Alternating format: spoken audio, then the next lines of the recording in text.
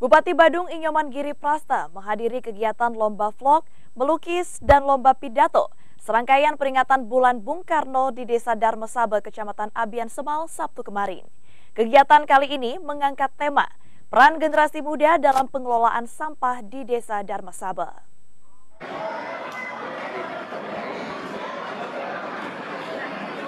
Bupati Badung Nyoman Giri Praste menghadiri kegiatan lomba vlog, melukis hingga lomba pidato serangkaian peringatan bulan Bung Karno tahun 2022 di Banjar Taman, Desa Darmesabe, Kecamatan Abian Semang.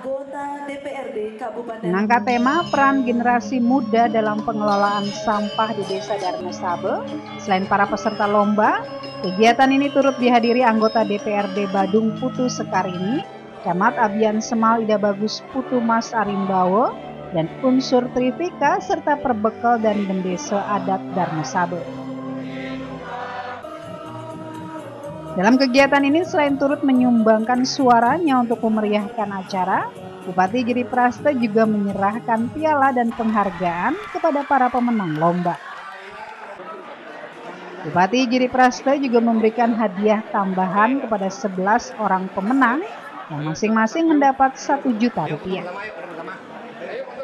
Bupati Badung Nyoman Giri Praste mengatakan atas nama pribadi dan pemerintah Kabupaten Badung menyambut baik kegiatan yang diselenggarakan oleh generasi muda di Badung untuk mengenang dan menghormati Bung Karno sebagai bapak pendiri bangsa atau founding father.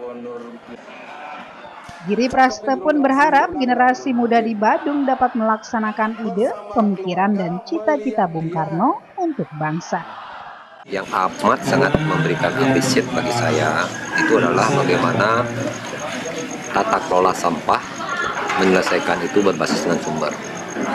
Inilah luar biasa sekali untuk memberikan sebuah edukasi sehingga sudah dicanangkan oleh Bapak Perbekal untuk bagaimana kita menggerakkan semangat masyarakat bersama dan bergotong, bergotong royong sama-sama kita melaksanakan reduce dan reuse dan recycle. Kegiatan Bulan Bung Karno di Desa Darmesabe tahun ini mengangkat tema yang sejalan dengan program pemerintahan Desa Darmesabe dalam pengelolaan sampah yang rencananya pada bulan Juli ini akan membangun TPS 3R. Harapannya ke depan para generasi muda dapat berperan aktif mengubah perilaku masyarakat dalam pengelolaan sampah. Dari Semal Badung, Muhyiddin Ainus melaporkan.